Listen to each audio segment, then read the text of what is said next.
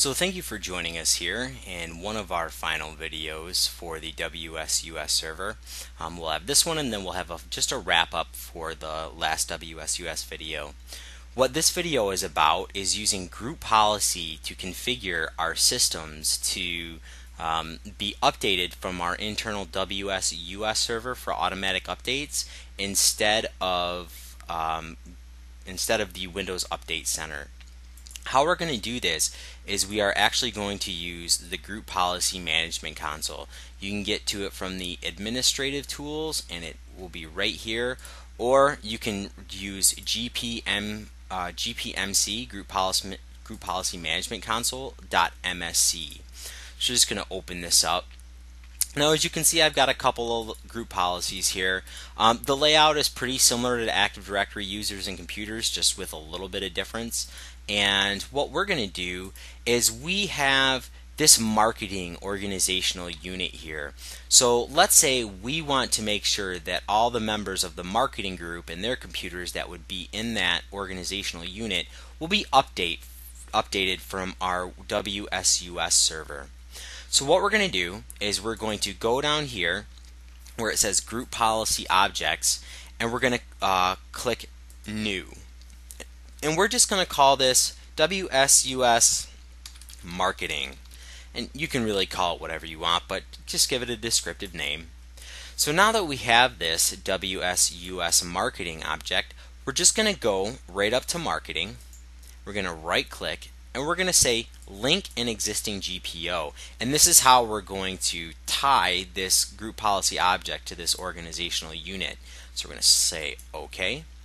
Now we have this organizational unit and this group policy object. So we're going to edit this group policy object. So we're just going to right click and hit edit. Now, group policy can be very daunting because it is a very, very um, large and powerful way to do things within your infrastructure, but it can be a little bit overwhelming at first. You know, for example, if you op open up Windows settings and then you open up security settings, look, we've got all this stuff here, and I mean, that's not even the biggest part. So if we open up administrative templates and then go Windows components, it's like, boom, look at all of this stuff that we have here. So don't be afraid when you first start working with group policy. I don't know anybody who has all of this stuff, you know, memorized. Just know about Windows and be liberal with Google. So what we're going to be using in order to do um, our task today, we're going to be using the computer configuration, policies, then we're going to go to Windows settings, administrative templates, Windows components, and all the way down to Windows updates. And there are about, I think, 16 different options here that we're going to configure. And for the sake of time, I'm just going to try to go through them quickly. Um, so this first one is do not display install updates and shutdown. I do want to um, display this to my users, so I'm going to disable that. I'm going to go next. Um, do not uh, adjust the default option to install updates and shutdown um, in the user's Windows dialog box. Um, is pretty similar. So basically, we're going to disable that as well. The third one, enable Windows Update Power Management. Yes, if the computer's sleeping, I do want to wake it up, so we're going to enable that. Four, configure automatic updates. We do want to enable this. So maybe for users that you trust or if you have a very literate group of computers, auto download and notify for install, but I want to auto download and schedule the install. And we're going to do the install time at 3 a.m. It is a 24 hour um, time clock there. So the next one is specify intranet Microsoft Update Service.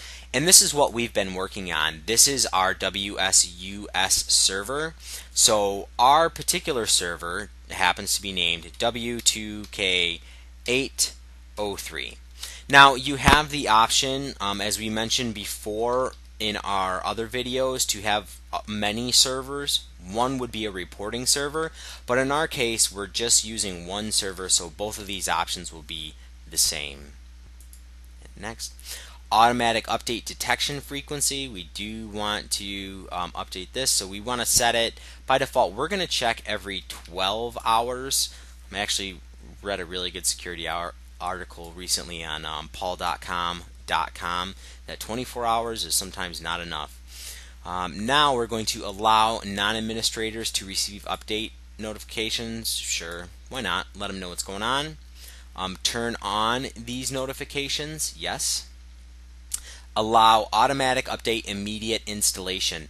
Some updates will not interrupt what the user is doing and they will simply download in the background and they will install silently in the background. That is what this will allow. Um, so we're going to select that. Turn on recommended updates. Yes, in addition to our critical updates and our security packs, we want to get the recommended ones as well. No auto restart. Um, we basically we're going to disable this. Um, we want we do want the Windows Update service to automatically restart the machine for our workstations. If you were applying a policy to your servers, you would probably disable this because you don't want them to automatically restart. So that's going to be system, you know, dependent. Reprompt for restart with schedule installation. Um, we are going to enable this. Personally, I want to do every 15 minutes just so if we have a large network it's not flooding everything delay restart for scheduled installations. A lot of times when you do a uh, Windows update right at home, it'll tell you, "Hey, I need to restart," and you can, you know, silence it for X amount of minutes. This is the same thing. Um, reschedule automatic up update installations. So for some reason, uh, if you know we missed the update, let's say we're scheduled to update at three o'clock and um, the computer is powered off at 3 o'clock. Uh, when it's turned back on and connected to the network, it will um, connect 15 minutes after the system starts up. So we do want to enable that. Enable client-side targeting. If you remember, we created groups in the WSUS service. So instead of manually going into the WSUS console and adding our computers to the groups individually, we can simply say here if we have a Windows 7 workstation group in our WSUS server for some, you know, for because we created it, and we know that this group policy is applied to Windows 7 workstations, this will automatically add those workstations into that group. So it's pretty nice. Allow signed updates from Intranet Microsoft Update Service location. Um, essentially, uh, if you have like an NVIDIA video card or ATI video card, a very well known manufacturer, and their drivers are verified by Microsoft and signed, uh, Microsoft will push down those updates as well. So if we have this disabled, those will not be automatically downloaded. I don't mind. I like my drivers and things like that to be updated automatically. Maybe this is another thing that you would not have on your servers, but for workstations, that's okay. So these are all the options. We're going to hit apply, we're going to hit OK. So now this is all updated. So we're going to get out of here,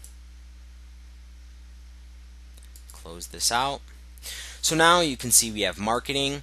Now a little thing just about group policy. This is more on group policy itself versus the WSUS server.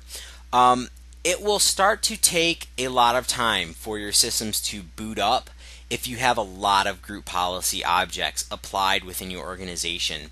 So what you can see here is you can turn off like half of it basically or you can just disable the whole group policy we know that all of our configuration was done in the computer configuration settings. So what we're going to do is we're actually going to disable the user settings for this group policy so though these group policy objects can just be processed faster. Um, there's also something to note about if you want to add a custom user um, there's an opportunity to do what's called security filtering. We'll talk about that in greater detail when we actually do a group policy management video But if you, let's say you have a group like marketing users and you want a group policy to only affect marketing users, you would have to add this group here under add. And then under the permissions, there needs to be two key permissions. So if you look at authenticated users, they need the read permission and they need the apply group policy permissions. Without those, uh, the group policy will not be applied. So that's good to know.